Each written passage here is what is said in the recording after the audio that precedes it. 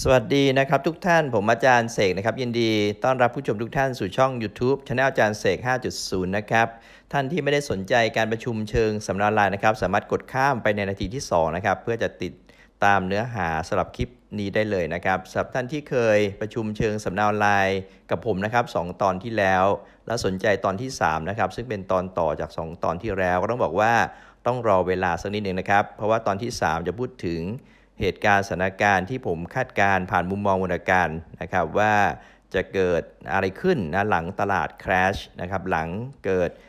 เศรษฐกิจที่เรียกว่า Great Reset ขึ้นนะครับอะไรจะเกิดขึ้นตามมาในทศวรรษ 2020 เนี่ยนะครับเพราะนั้นในขณะนี้ยังไม่เกิดนะครับก็ยังไม่ทำนะแต่ว่าขณะนี้มีอาการแทรกซ้อนในเรื่องของสงครามนะที่เกิดขึ้นนะครับก็ติดตามดูกันนะครับ สำหรับท่านที่นะเป็นผู้รับชมทั่วไปนะครับที่ยังไม่ค่อยรู้เข้าใจนะเกี่ยวกับเรื่องของระบบการเงินโลกนะครับเงินสร้างขึ้นมาได้อย่างไรนะจากอดีตมาถึงปัจจุบันนะครับ ก็แนะนำนะครับอันนี้ก็เป็นคอร์สสัมมนาออนไลน์นะครับที่มีค่าใช้จ่ายนะครับ ท่านสามารถนะสมัครเข้ามา นะครับรับฟังนะสัมมนาออนไลน์ได้นะครับ Concise of Money for People นะครับสรุปสาระสำคัญของเงินสำหรับคนทั่วไปนะครับ จะจัดขึ้นในเสาร์ที่ 19 มีนาคม 65 เวลา 18.30 ถึง 21.30 น นะครับ 3 ชั่วโมงเต็มท่านที่สนใจติดต่อผ่านเข้ามาใน Line ID ผมนะครับเสก9599 นะครับ ในการประชุมเชิงสำนักลายนี้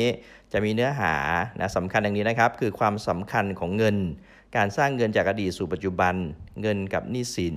เงินกับอำนาจ เศรษฐกิจมหาภาค และเศรษฐกิจจุลภาค เงินกับเศรษฐกิจ เงินคือความช่วยร้ายใช่ไหม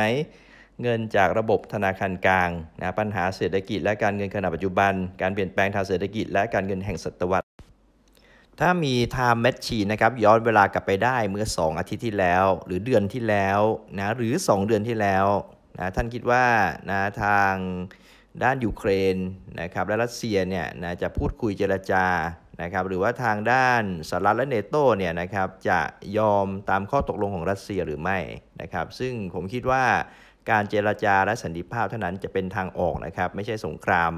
แต่ในเมื่อเราไม่มีเครื่องย้อนเวลาที่แท้จริงไม่มี time machine นะครับตอนนี้เราจะมาพูดกันถึงข้อเท็จจริง ว่าสิ่งที่ประเมินสงครามรัสเซียยูเครนเนี่ยใครได้ใครเสีย นะคุ้มไหมที่ต้องแลกด้วยสงครามนะรัสเซียเนี่ยไหวหรือเปล่านะครับ โดยสัตว์จริงแล้วเนี่ยนะครับผมต้องการให้โลกนะมีสันติภาพไม่ต้องการให้เกิดสงครามนะซึ่งผมก็วิเคราะห์มาก่อนหน้านี้แล้วว่าความตึงเครียดนะครับในเรื่องของรัสเซียยูเครน ความตึงเครียดระหว่างรัสเซียนะครับกับสหรัฐแล้วก็เนโตเนี่ยน่าจะพูดคุยกันได้นะครับด้วยการทำสนธิสัญญานะครับหรืออะไรก็แล้วแต่ โดยปล่อยให้ยูเครนเนี่ยนะครับเป็น รัฐกันชนนะครับแต่เมื่อ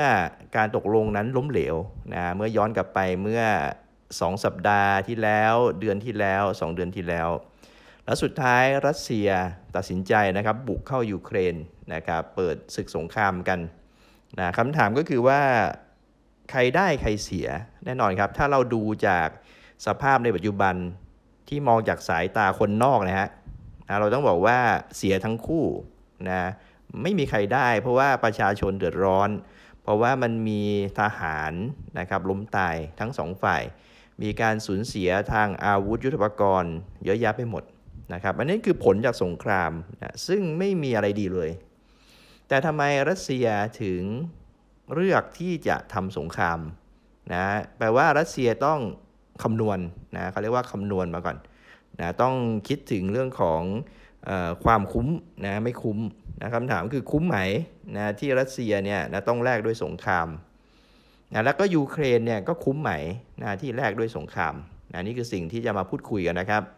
เราจะไม่ได้พูดคุยด้วยความอยากหรือไม่อยากของตัวเรานะเพราะโดยส่วนตัวผมบอกแล้วว่า ผมไม่อยากเห็นสงคราม ไม่อยากให้เกิดสงคราม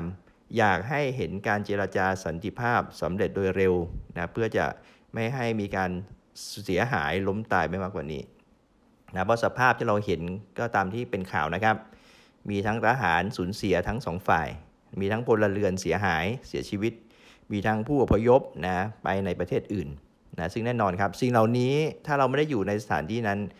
เราก็คงบอกความรู้สึกที่แท้จริงไม่ได้ ว่ามันเดือดร้อน มันมีความทุกข์ใจแค่ไหนนะแต่เมื่อเมื่อเลือกที่จะทำสงครามแล้ว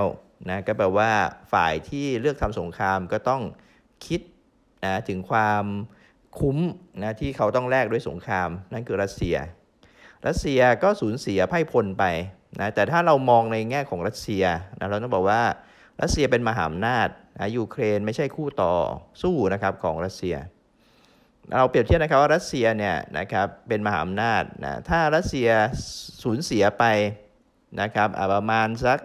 1%ในขณะที่ยูเครนเนี่ยเสียหายถึงอาจจะประมาณสัก 30-50%นะเพราะฉะนั้นนี่คือความเสียหายที่เปรียบเทียบกัน ระหว่างมหาอำนาจกับประเทศที่ไม่ใช่มหาอำนาจประเทศที่เล็กกว่า ซึ่งแปลว่ายูเครนไม่ใช่คู่ต่อสู้ของรัสเซียนะแต่แน่นอนครับรัสเซียก็สูญเสีย แต่รัสเซียจะมองว่าคุ้มที่จะแลกกับหมากตัวนี้ นั่นคือยูเครนนะเหตุผลเมื่อไหร่ครับ เพราะว่าเขามองว่าเปิดสงครามนอกบ้านดีกว่าเกิดสงครามในบ้านหรือไม่ เพราะว่าถ้าเกิดรัสเซียสูญเสียยูเครนไปนะให้เป็นสมาชิกของเนโตแล้วมีอาวุธยุทโธปกรณ์นะพวกขีปนาวุธหรือแม้แต่นิวเคลียร์มาประจำอยู่ยูเครน แล้วจ่อรัสเซียเนี่ยโอกาสต่อไปก็คือสงครามภายในรัสเซีย ซึ่งรัสเซียเสียเปรียบเพราะฉะนั้นรัสเซียจึงไม่ยอมปล่อยหมากยูเครนนี้ไป แล้วแลกด้วยสงคราม แปลว่ารัสเซียคิดคำนวณแล้วใช่หรือไม่ นะว่าการแลกหมากด้วยสงคราม ซึ่งรัสเซียก็สูญเสียสูญเสียชีวิตของทหารนะแล้วก็สูญเสียทรัพยากรอายุปกรณ์ต่างๆ ไปจำนวนไม่น้อยนะนะในการแลกกับยูเครนนะครับในการเองยูเครนก็เสียหายหนักนะอาจจะเรียกว่า